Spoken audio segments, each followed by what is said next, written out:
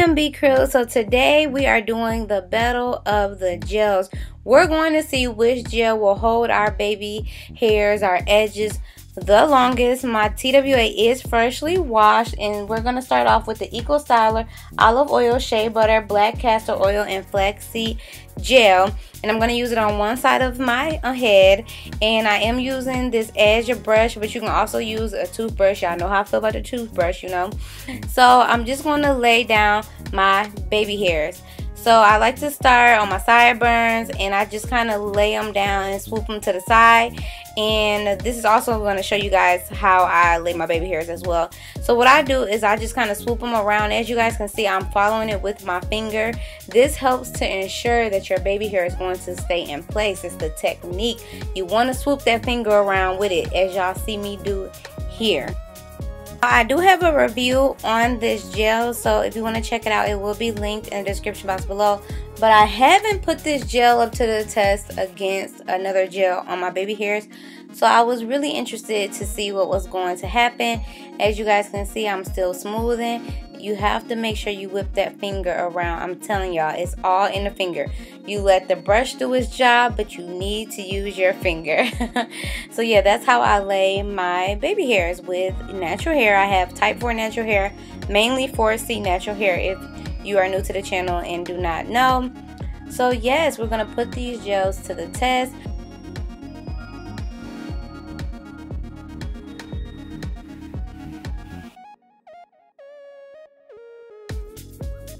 Alright, so our next contestant is the Ampro Pro Style Gel, the regular hold.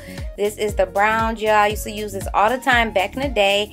And I just put a little bit on my edge brush. And I'm literally going to do the same thing on this side of my head. So it'll be you guys' left side, but it's really my right.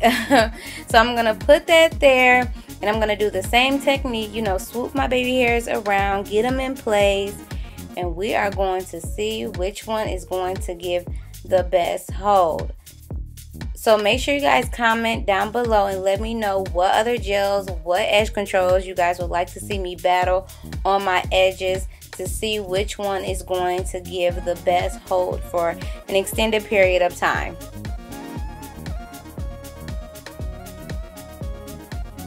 Alright, so now our edges are done. So I'm to let my edges, you know, do their thing. I'm not to touch them. I didn't touch them. Um, I'm a perfectionist, so as y'all can see, I'm going back and fixing them up. But yeah, we're to test them out for some hours and see which gel has the best hold for our baby hairs. Which one is to hold our edges down the best. So my starting time was at 441 p.m. and then I came back at 9 o'clock. So this is what my edges look like at 9 o'clock. So I forgot to show the time, but it was 9 o'clock. So I didn't touch my edges or anything. This is what my baby hairs look like. So you guys have to comment down below and you guys are going to decide which one you think is the better side.